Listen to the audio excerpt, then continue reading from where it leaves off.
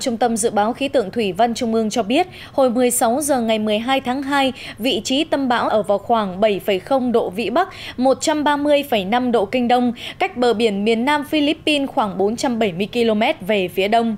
Cũng theo dự báo, hiện hướng đi của cơn bão đang tiến rất nhanh vào Biển Đông. Dự báo trong 24 giờ tới, bão di chuyển nhanh theo hướng Tây-Tây Bắc, mỗi giờ đi được khoảng 25 km. Đến 16 giờ ngày 13 tháng 2, vị trí tâm bão ở trên đất liền miền Nam Philippines.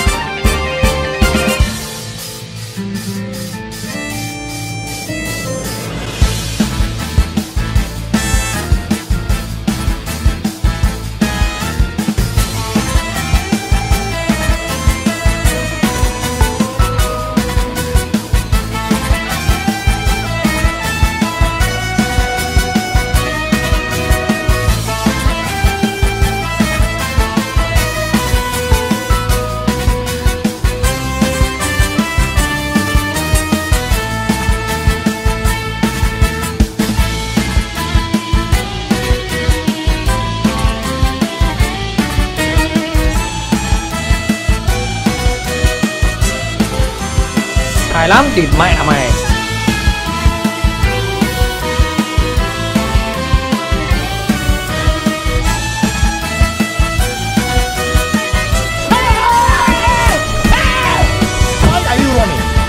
Why are you running?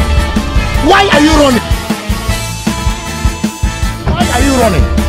Why are you running? Why are you running?